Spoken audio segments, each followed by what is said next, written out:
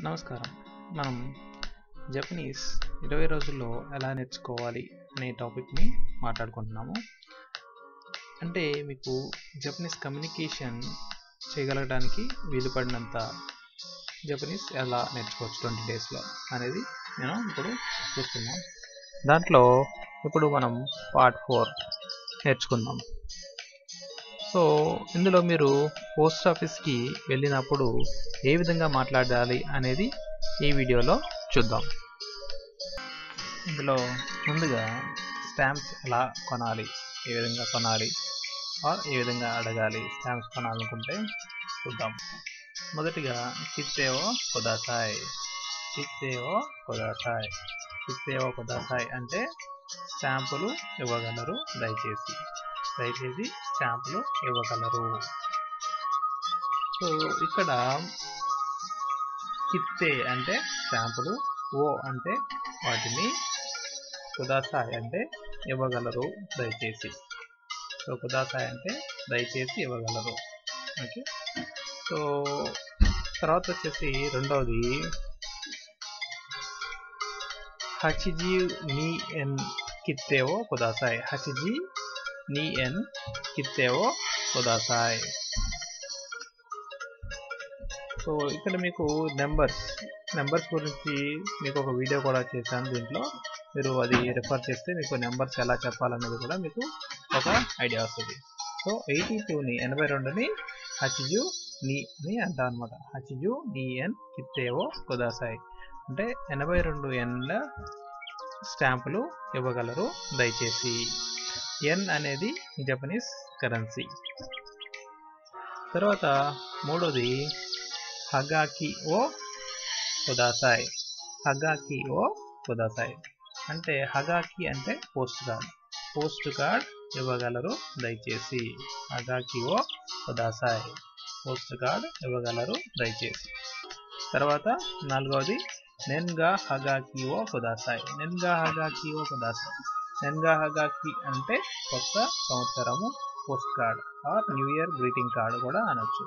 ఇక్కడ జపనీస్లో new year greeting cards ఇప్పుడు కూడా పోస్టర్స్లో కొని వేరే వాళ్ళకి ఇస్తూ ఉంటారు.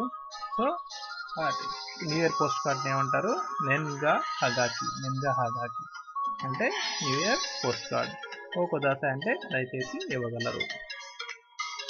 తర్వాత ఐదోది జూమాయ్ కుదాసాయ్. జూమాయ్ కుదాసాయ్.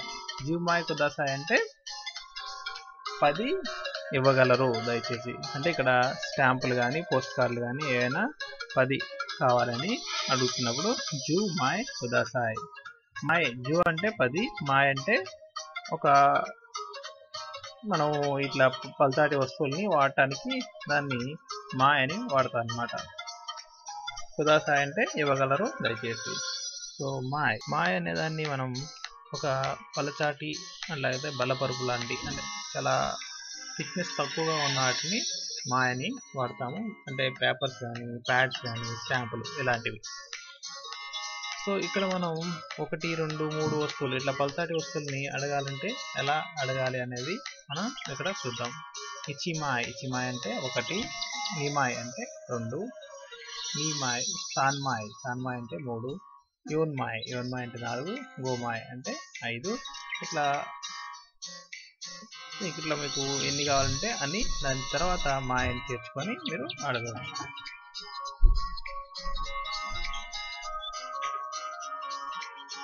సో మీకు జపనీస్లో ఈ పోస్ట్ కార్డ్ కానీ పార్సల్ కానీ పంపించడానికి ఎంత ఖర్చు అవుతుంది అంటే జపాన్లో ప్రస్తుతం ఉన్న పోస్ట్ కార్డ్ లేక లెటర్ పంపడానికి అయ్యే ఖర్చు వివరాలు. ట్వంటీ ఫైవ్ గ్రామ్స్ లోపల ఉంటే forty eight yen fifty grams లోపల ఉంటే నైంటీ ఫోర్ ఎన్. సో ఇది జపాన్ లోపల మాత్రమే. అవుట్ సైడ్ ఆఫ్ జపాన్ కాదు Japan inside of Japan.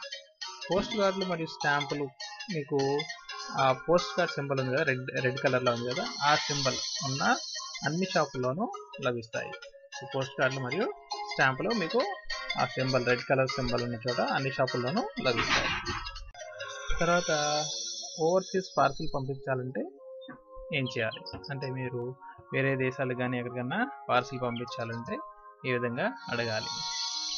So ఇందులో మొదటిగా ఇందో మాదే వనగాయిషిమాస్. ఇందో మాదే ఇంగాయిషిమాస్ ఇందో అంటే ఇండియా. మాదే అంటే వరకు. వనగాయిషిమాస్ అంటే పంపించగలరు. అదే సో నేను ఇది ఇండియాకి పంపించాలనుకుంటున్నాను లేదా ఇండియాకి పంపించగలరు అని అంటానికి ఇందో మాదే వనగాషిమాస్ అని అంటాం అనమాట తర్వాత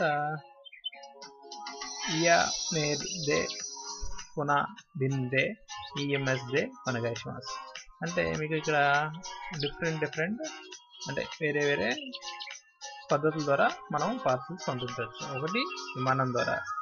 ఇయా అంటే air mail air mail air mail అంటే విమానం ద్వారా. కొనాబిన్ దే. కొనాబిన్ అంటే ఓడ షిప్ ద్వారా. ఈఎంఎస్ దే వనగాషిమాస్ తర్వాత దోనోగురాయ్ కకారి మాస్కా అంటే దోనోగురాయ్ కకారి మాస్కా అంటే ఎంత సమయం పడుతుంది?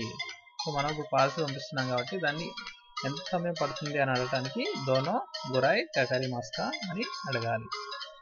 సో ఇక్కడ మీరు పార్సిల్ బరువు పంపించాల్సిన ప్రదేశము మరియు సైజుని బట్టి దాని ధర నిర్ణయించబడుతుంది. సో మీకు ఇక్కడ జపనీస్ ఎన్లో పదిహేడు వందల నుంచి పదిహేను వేల ఎనిమిది వందల వరకు బరువును బట్టి మీకు పార్సల్ రేటు ఉంటుంది. మీకు ఈ ఎగ్జాక్ట్ రేటు కావాలంటే మీరు ఈ కింద ఇచ్చిన లింక్ని చూడవచ్చు అనమాట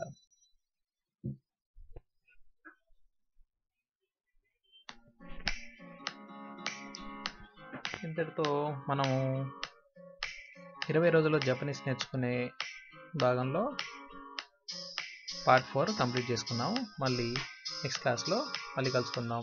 అంతవరకు సెలవు. మీరు ఈ వీడియోని లైక్ చేసి షేర్ చేయండి. Please subscribe also. Thank you very much.